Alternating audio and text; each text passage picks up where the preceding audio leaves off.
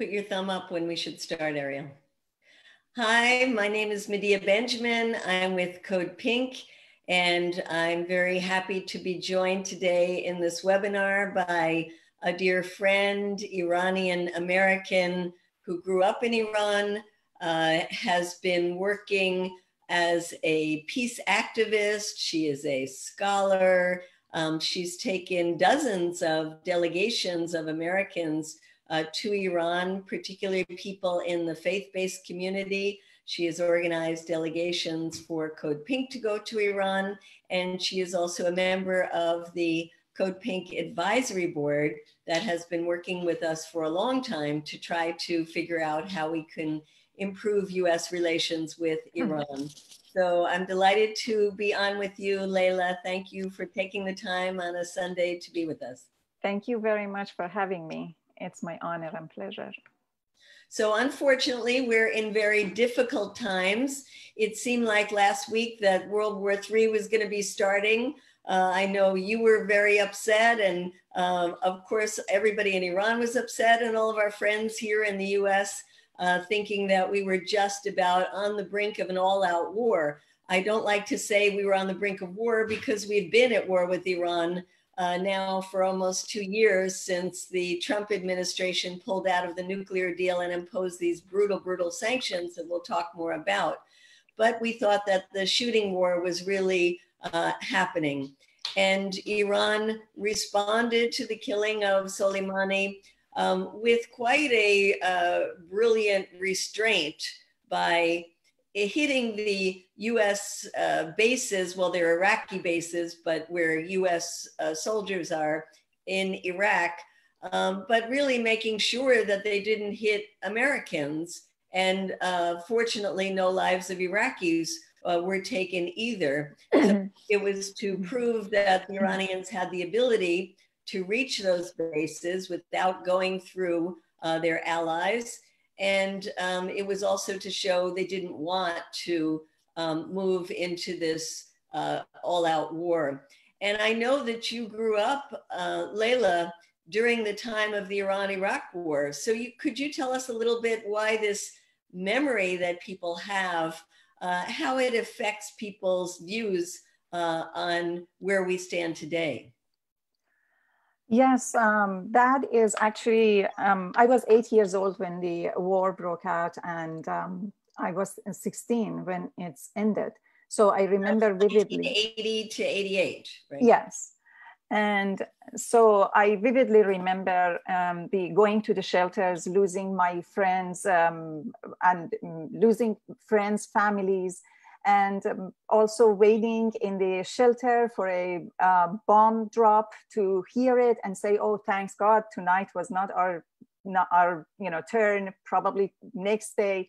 I remember when um, going to school, the school um, windows was was shattered everywhere, and these are the time that, um, of course, um, the rest of the world gave Saddam Hussein all kinds of weapons, including chemical weapons. And I'm talking about Tehran, the capital, which was not really um, engaged in a war till the last days. Um, people who lived in the borders from the moment that the uh, Iraqi um, army uh, got the green light from the United States that they can invade Iran, they were involved in the brutal war, in a real war. And it was not only bomb or missiles, it was also um, a one-to-one uh, fight. So for first 40 days, which Iranians remember it as the 40 days of resistance, um, uh, still the army was not, because it was, as you remember, it was immediately after the revolution. So the army was not really ready to go to the border. Nobody knows what is going on. The new government didn't know that. And then the Iraqi, when they invaded Iran, the Iranians took their utensils, they, they took their asks and shovels, they took, you know, whatever they could find in order to go and fight with the enemy. And this is very important um, to remember that um, then the Iran's population was 36 million and um, still there is a sign in a border city Khorramshahr that they said the population of Khorramshahr is 36 million because everybody before the army and the Artesh could just grab himself and go to the border. Everybody took something and started to fight because because it was the attack on on our home on motherland. I know in, in America people say fatherland, but over there because mother is very precious, so it, it was the motherland that it was under attack. And um, actually, last time I was in Iran, almost um, two years ago, I in, um, for a project I interviewed many many women who, who were active in the border, and at that time they were either you know 15, 16 years old, and they tell me that um, our parents were worried for us because mm, you know you remember what happened to um, Yazidis in Iraq and a lot of rape, a lot of you know like a slave slavery um, of women. So their parents were very worried for them, but they said um, one of them told me, I asked, I told my mother, mom, either, you know, you are going to lose me or you are going to lose Iran. Which one you are going to choose? And my mother said, I prefer to lose you, stay here and fight for, you know, our homeland. And um, so this um, memories that I have, part of that is a memory and the other part is through hearing other stories. I think it's a very important for the uh, for everyone, specifically for the government or for the um, White House, for um, the President Trump, for everyone to remember that Iranians um, are very, I don't know, sometimes the word nationalism has a, you know, a different meaning or a negative meaning, but I want to say they really respect their motherland. They really respect their home. And um, probably that is coming from um, very ancient culture that um, they, you know, like Zoroastrian culture, that there are a lot of respect for the land and for what we are coming from. Uh, so I don't want to just, um, you know, scatter my talk, but I want to say it is very important to remember that whatever happened, no matter what is going on among um, people uh, in, in Iran, or between them animosity hostilities whatever exists when there is a foreign threat when there is a, um, threat of an enemy from outside people get together and they stand hand in hand to defend um, their identity their home and um, their being basically and i think it is possible that a lot of places are like this but um, there are some policies in the Middle East in the past decade or so, or maybe more, that people are thinking because um, Middle East was created, um, you know, in the later years after the World War One. So there is not some specific nationalism among Middle Eastern people, like what happened in Iraq or in Syria. Like people say, I'm Sunni, they are Shia, the other one is Kurd. But the story of Iran, I think, is a little different because Iran has been a nation state for millennia. And we've lived together next to one another without caring about you know each other's religion or political interests or or whatever can divide people and um, that takes me to say today iran also is a very diverse country you know we had demonstrations two months ago against the government for the political and economic reasons. We had demonstrations last year. We had uprising 10 years ago. And I can say people in Iran are not happy, definitely, um, because of economic condition, because of the political condition, because part of that is because of the government, other parts is because of the um, foreign involvement and sanctions and threat of war, all of them. So made people uh, made people of Iran to be very unhappy, and they show it. They are not fearful of showing it.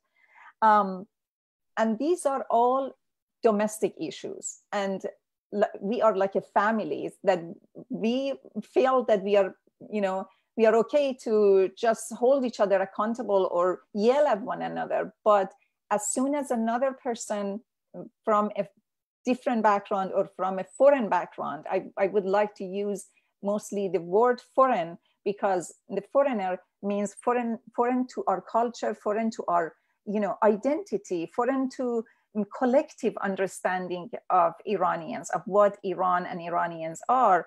Um, and specifically with the respect that we have to the history, our history and culture. So it makes people to be united and to be together. I was talking to my brother yesterday, and he said a friend of mine came and said, "Oh, uh, thanks God, you don't have immediate family in Iran. Do you have immediate family?" And my brother said, I looked at him and I said, I have 80 million immediate family who are living there. So um, I guess this is the perspective of um, most of us. So um, I, I, wish I could send, um, you know, the because President Trump apparently can speak Farsi these days. So I could send a Farsi letter to him and say, hey, um, you know, you are um, involved and you are just um, you know, encouraging people to continue their demonstration, which also I encourage because those governments should be accountable. But don't be happy that if they are demonstrating against their government, that means they are, mm, you know, getting ready for you with the sweets and flowers, like what President Bush thought about Iraq. Well, thank you for all that. Um, I think it, you you said something that I just wanted to go back to, which is that Iranians are not afraid of uh, showing their opposition, and I wonder, you know, if that is really uh, true all the time, because uh, when people came out in November against the uh, increase in the price of gasoline, um, there were hundreds of them that were shot down, and um, you know that kind of brutal repression, and um, yet it, it's so confusing from uh, the outside uh, because we see then the millions of people that did come out to show their um, mourning of uh, the killing of, of uh, Soleimani. And then now, in the last couple of days, we've seen people out on the streets protesting the plane crash and the government's um, refusal to immediately accept responsibility for that. Uh, and that too was repressed from what we see. On the other hand, Donald Trump and his administration go out there and say, yes, get out on the streets. You know, we are with you. Uh, and um, so it, it's hard to say, you know, what is genuine uprising from legitimate demands of people inside Iran and certainly legitimate mourning, um, and what is really being egged on uh, by the uh, US. And I mm-hmm. think this makes it harder for people inside Iran to um, be uh, building reform movements and protecting oh, human rights and those. Uh, what do you say to that? Definitely, definitely. Just one quick example. Um, there is an Iranian um, um, director, a woman, very successful. You also, with the Code Pink, you met um, her in Iran. Miss Rakhshan Bani Etemad, who made a lot of film about Iranian women and their movements and their sufferings. And so she announced, um, I think it was two days ago, she announced a um, rally and um, a mourning rally basically for those who lost their life in this horrible uh, plane crash. And then um, uh, she was ready, everything was prepared. A lot of people follow her, of course.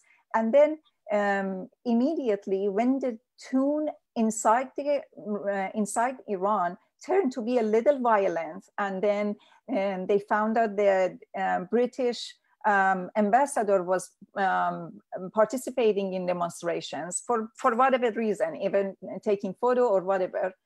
And um, also Donald Trump tweet, keep tweeting, and a lot of foreign um, involvement is there. So he immediately, uh, she immediately came on Twitter and other social accounts, um, accounts and announced that the plan is canceled because I don't want those who are enemy of Iran use this opportunity and ride on this, you know, emotional time that people are having.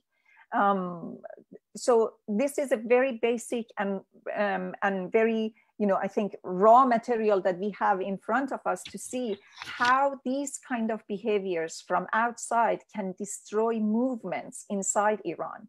You know um, iranians we have done everything. We have done revolutions uprisings war killing whatever possible. We changed the 2,500 years um, of um, kingdom and we changed, we brought, you know, a lot of things that probably um, many countries um, experience in their lifetime. We did it in the past hundred years.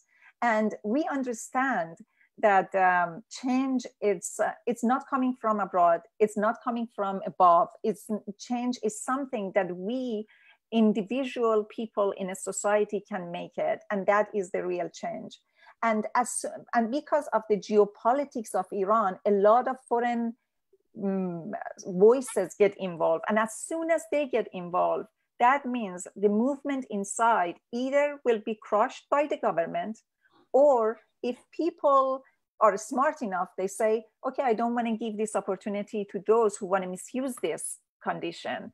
And they um, just keep quiet. Um, because also we have seen in the past decade, Iraq and, Af- and um, Afghanistan and, and, Syria particularly, that because of the nonviolence, um, legal demonstration and asking for a democratic society, like what happened to Syria after 10 years, and by the involvement of foreigners. So there are many different kind of movements.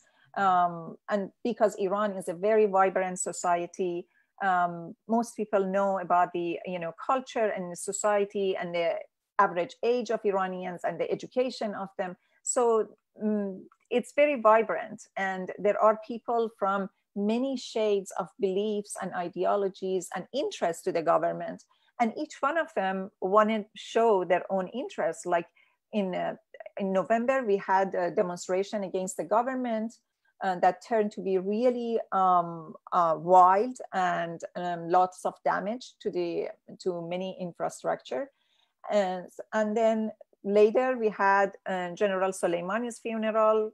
We had a huge turnout. And now of course this horrible um, plane crash or plane i don't know attack or it, it is really sad. It is very sad.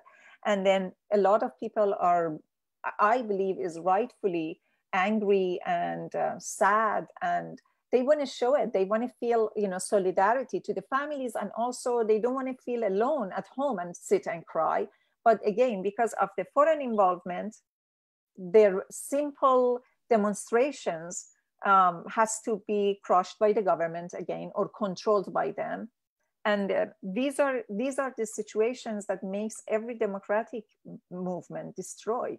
Mm, and that happened in iran many many times um, unfortunately yeah thank you for explaining that we've seen that in our own travels to iran where in earlier years we were able to meet with uh, uh, civil society groups, with yeah. non governmental organizations. And then when things would get tougher with the United States, those groups would either disappear or be afraid to meet with us. Um, but there is one group that uh, we have always really um, felt honored to meet with when we traveled to Iran, and that is the Peace Museum. Mm-hmm. And in that Peace Museum, it really uh, explains how horrific the Iran Iraq war was. Mm. Um, but this year, when we went there, we also um, did an apology from the American people for the shooting down of an Iranian plane that happened at the very end of that Iraq, uh, uh, uh Iran Iraq war in um, 1988. Yeah. I wondered if uh, you could explain what happened because it's an important a reference point to contrast the way uh, that the situation with the shooting down of the plane, uh, the Ukraine plane, is playing out today. Exactly. Actually, there are a lot of talks also around that among the Iranians. They say, um, we don't see, you know, whoever has done this, uh, we put it in an equal condition as whoever did in 1988 to the Iranian airplane um, which caused 299 um, civilian lives. So both are mistakes. And, um, you know, in the best condition, we can put put it this way that both are mistakes some people say the other one was not a mistake it was you know intentionally and so we really don't know still probably in 50 years or so the history will um, will uh, give us the answer but the difference is, although the Iranian government, I believe, did a horrible thing that for three days mm, made people to wait. If they knew it, I don't know what the condition was. Still, we don't have the clear news. If the government um, knew from the moment that they, you know, the plane was crushed, if they knew it, it was something that um, the Iranian military did. If I, I, really, we still are not sure, and there are a lot of things around that. But at least they came um, publicly, they apologized, and the Iranian military um, colonel came yesterday, I, I, guess. I couldn't watch all the talk because emotionally I was really sick to see the innocent lives. And this poor guy also, he was miserable himself, explaining and saying it all was our mistake and we apologize and forgive us. And whatever he could say to make it clear that he understand it was the mistake from their side. Um, some people say still there are you know arguments around who really did it or whatever but he did that and then we have in the other side of this story we have 1988 that just the country came out of the war with iraq. Actually it was in the in the uh, process of the peace negotiation with iraq. We lost a lot of beautiful lives of iraqis and iranians during the war and, and then the U.S. had sided with Saddam Hussein. Oh, oh yeah, U.S. gave uh, many different weapons, including chemical weapons that Saddam used against Iranian and, Amer- and um, uh, Iraqis. Five thousand people died in a second because of use of chemical weapons in both Iraqi and Iranian sides.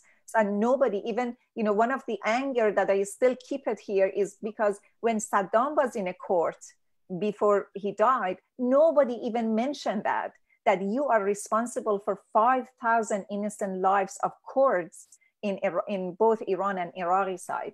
So yeah, United States supported Saddam during the war also. Many times when Saddam was losing, US um, helped from attacking some um, tankers in the Persian Gulf. And um, not just US, but also um, the Saudi Arabia and other um, Arab countries helped Saddam Hussein with money and weapons. Um, interestingly, mm, I strongly suggest um, we read again Trita Parsi's book, Treacherous Alliance, because in that book, he uh, specifically discussed the matter. The only support Iran had for a while, uh, or the main support Iran had, was Israel.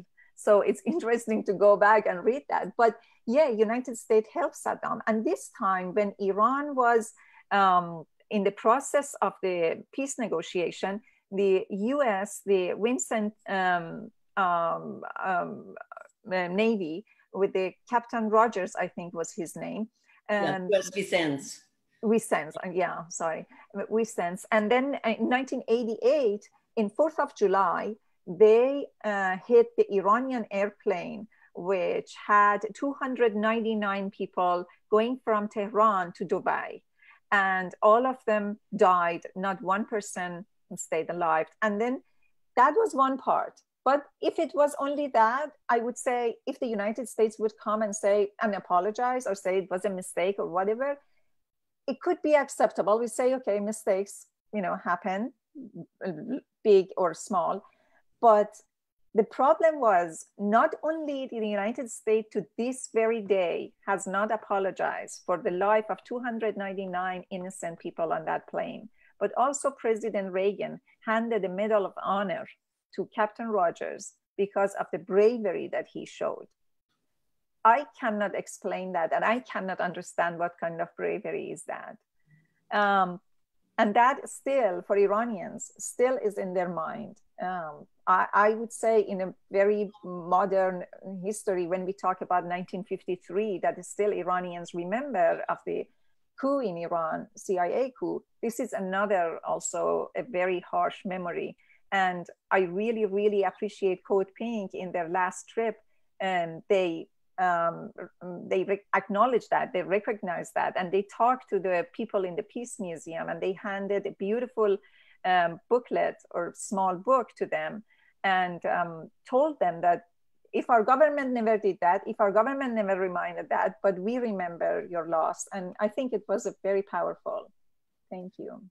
Well, we are also today, um, we have put together an apology to the Iranian people because we feel that the present conflict and the uh, stress that 80 million people in Iran must be feeling uh, is caused by Donald Trump. And if anybody wants to sign on to that, please go to the Code Pink website and sign on to our apology. Um, but uh, going to where we stand today, you know, they talk about tit for tat, uh, as if there are two equals that are um, fighting each other. And I don't want to excuse the Iranian government for uh, any things that they have done that have increased the tensions in the Middle East. But I don't think we should be using that kind of terminology. I think we should be totally acknowledging that there was a process to keep Iran from getting nuclear weapons, the Iran nuclear deal. But as uh, the foreign minister Zarif told us when we visited Iran in our last visit, he said that we chose this one to work on because we thought it would be easy because Iran was not did not have nuclear weapons, uh, and we thought that this was the beginning of a process to then start negotiating about other issues. This was a tremendous breakthrough from all of the years of hostility since the 1979 revolution and the uh, constant sanctions that had been imposed on Iran to move into a different phase. And um, the people in Iran were so hopeful and happy. And many of us here were really hopeful and happy as well. And then um, to think that instead of moving on from that deal to the next issue that could be discussed in a um, way that would start bringing peace and stability to the Middle East, where we know that all the players have to be involved the Saudis, the Iranians, the Israelis, everybody. Um, it went uh, that Donald Trump ripped up that nuclear deal and brought us now to this brink of war. But it's important to say that it wasn't just ripping up the Iran nuclear deal. While Iran has been under some sort of sanctions since 1979, uh, the Trump administration has taken this to a new level. And the sanctions, you wonder how it is that one person, Donald Trump, can make the lives of millions of people in Iran so miserable just through these executive decisions that say not only can US companies not trade with Iran, but we want to make the rest of the world not trade with Iran. We want Iran not to sell one drop of oil, which is um, the bulk of the uh, foreign currency that they receive. And then after this latest round of um, uh, conflict of the murder of Soleimani and the Iranian response, uh, Donald Trump, instead of taking this as a moment to really say, okay, you know, we're going to step back, um, we want negotiations with Iran, um, they announced that there would be new sanctions. Hmm. And then uh, the day after that, actually imposed new sanctions that affect uh, the mining sector, the textile sector, even Iranian carpets, um, uh, as if uh, any of this is really a threat to US national security, because that's the, the legal basis under which this is done. Uh, and so it's really just a slapping uh, the Iranian leadership around some more uh, to say we're going to continue to escalate because the Iranian government had said at the last United Nations Security Council meeting when uh, there was a proposal for Donald Trump uh, to speak to the Iranian President Rouhani. Rouhani said no, as long as these sanctions uh, are imposed on us and are hurting our economy so much, we will not sit down with you. So it's uh, really disingenuous on the one hand for Donald Trump to say, oh, yes, you know, we are open to talk with Iran. And on the other hand, um, do exactly what they know would make those negotiations impossible, impose new sanctions. So I wonder what you uh, can have to say about that.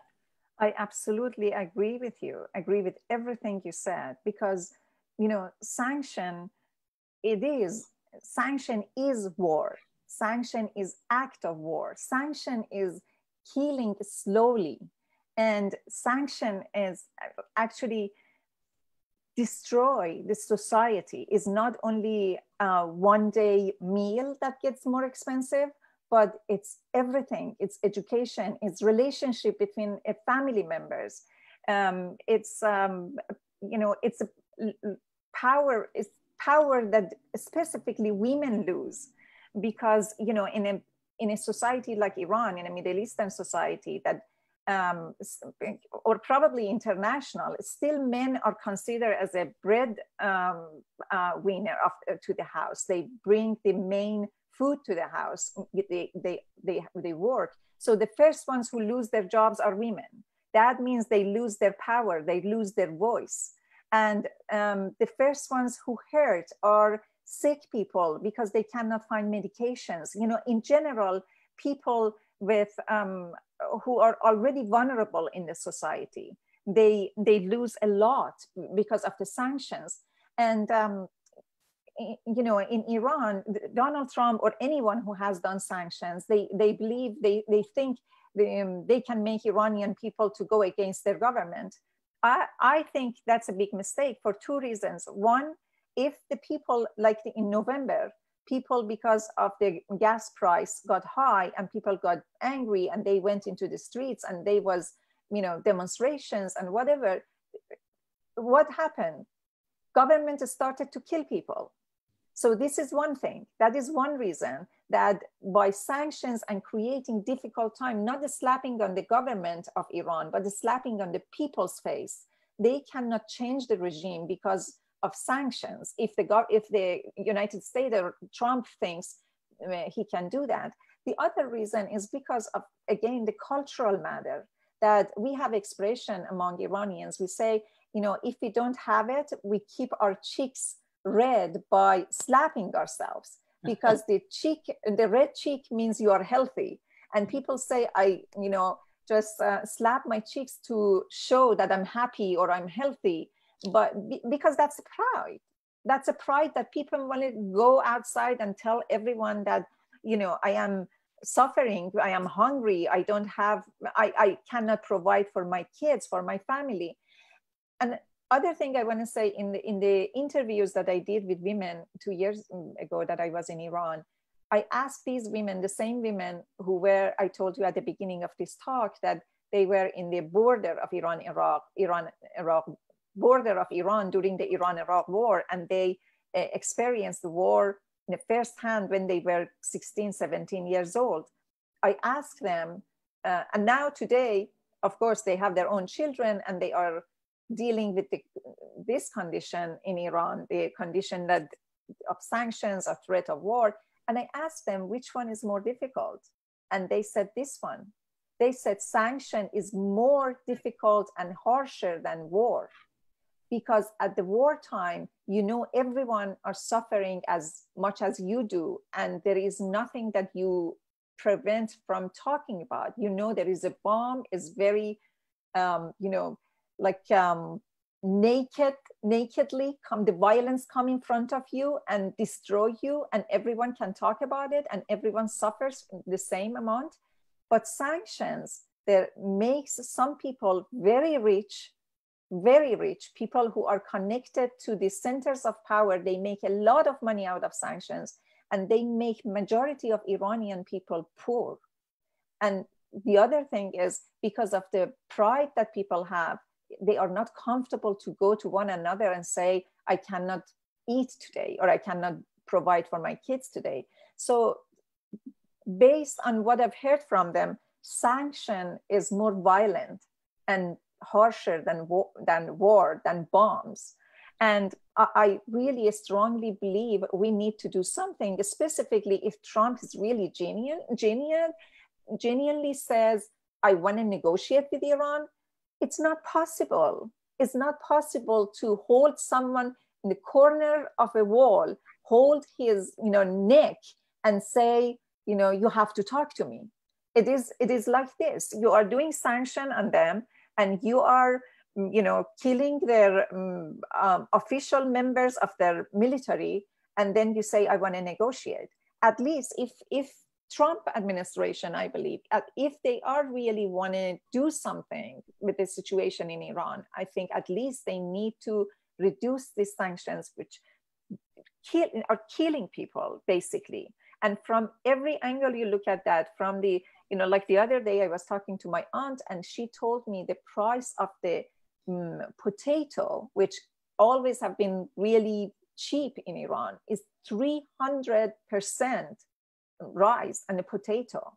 Just think about other things. You know, people have other expenses like medications. I had a friend um, whose son uh, was diagnosed with kind of um, cancer and they couldn't find the medication. They sent me the uh, prescription. I have a, a, doctor friend and I gave the prescription to my friend and said, this um, medicine is like $500 each because there is no insurance and nothing.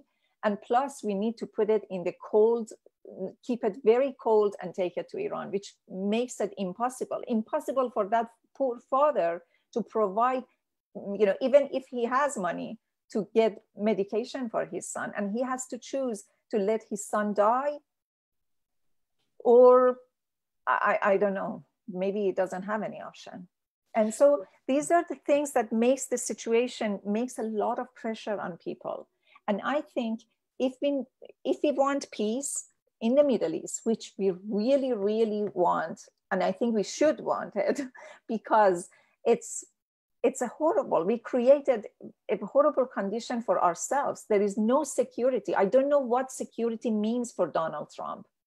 If you know putting the um, american lives in all around iran and kill iranian um, um, military officer the second important person in the country. If you put all the uh, american lives around iran and you pressure iranian with sanctions so how can you create security?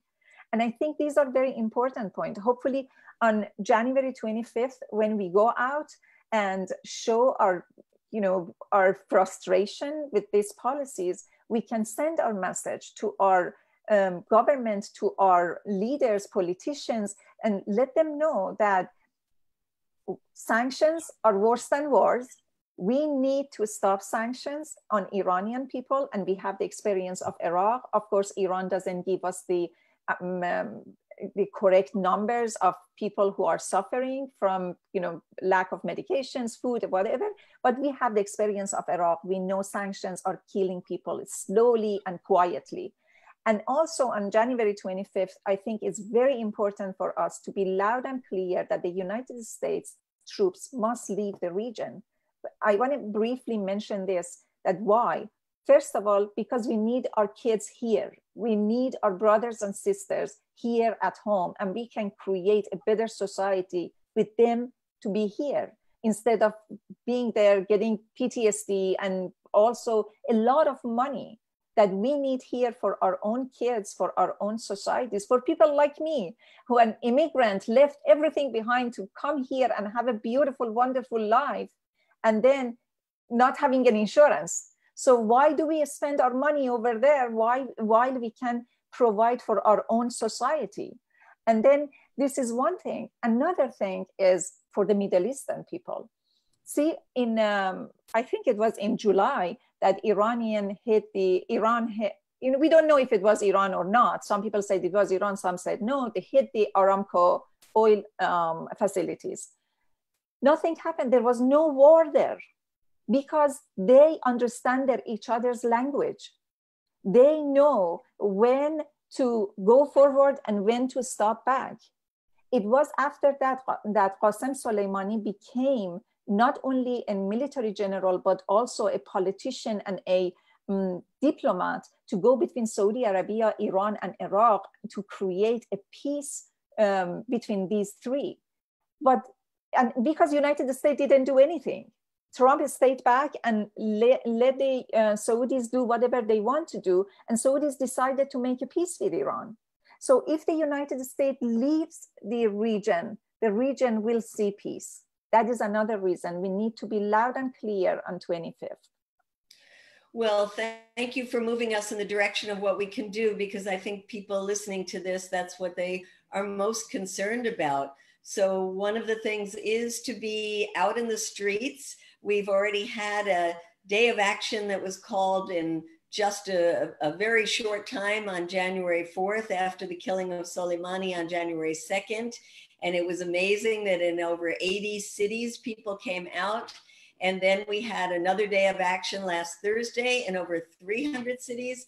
And this one is a global day of action where we're getting responses from people in Africa and the Middle East and Latin America that want to join in an international call to say the world says no to war. So please go to the Code Pink website and look and see if there's already a city that has signed up in your community. And if so, please join that. And if not, you should be the one to call for a demonstration. It doesn't take a lot. You just put up, we'll help you put up a Facebook page, we'll help you advertise, and voila, um, people want to come out and express their disgust with what Donald Trump is doing uh, to drag us into another war. There's also a lot of work to do in Washington, D.C. Uh, we did pass the war powers resolution uh, this week in the House. Now it's going to go to the Senate. We need to lobby um, some of the senators who are on the fence about this. Uh, and there will be other resolutions to actually cut off all of the, the money uh, for this war. And that would be coming from Bernie Sanders in the Senate and Congressman Ro Khanna. We have to get behind those efforts. And there is something that Code Pink is working on uh, to uh, really call for an exemption for humanitarian aid, uh, which the Trump administration says is exempt from the sanctions, but it is not.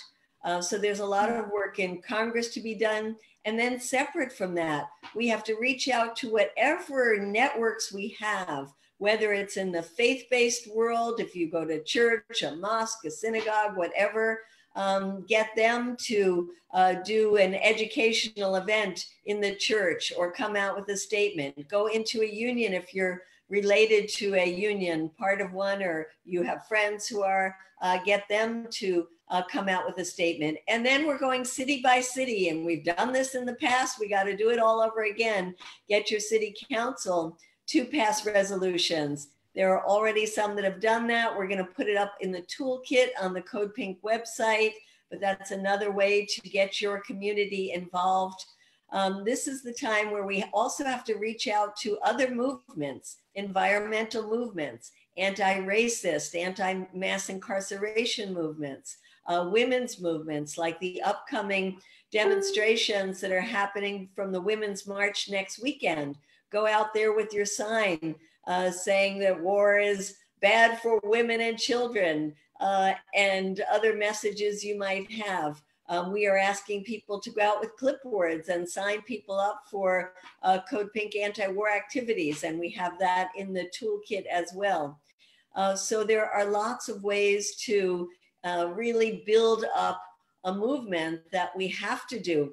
We've just gotten a breather because we're not in an all-out shooting war, uh, but uh, who knows how long this is going to last. But as we have the time right now, we have to use it wisely to build up a very strong movement to show Donald Trump, not that we want him reelected by no means in the White House, but he has to know that this is not what the American people want. Uh, and uh, so there are many ways to get involved with us. Uh, please contact at Code Pink uh, if you want to send us an email, you can do that at info at codepink.org. And Leila, I just want to thank you for all the work that you have been doing for so many years to try to build links between the Iranian people and the American people, all the delegations.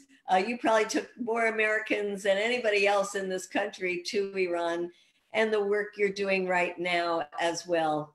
And for giving us your time in a very beautiful uh, webinar this morning to educate people about the Iranian people. Thank you very much. Thanks a lot for everything, for everything you do for peace and justice. Thank Wonderful. So we'll uh, sign out from this webinar, but please uh, keep in touch with us and let's keep building this movement. And we will have more webinars with people from Iran, from uh, the Iranian American community as well. Inshallah. Thank you so much, Laura. Thank bye you. Bye bye.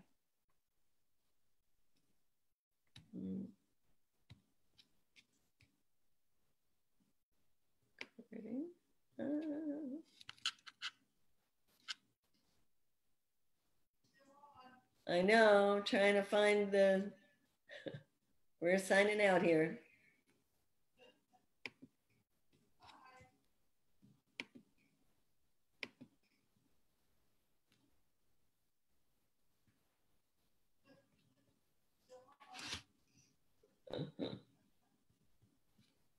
Mm, okay.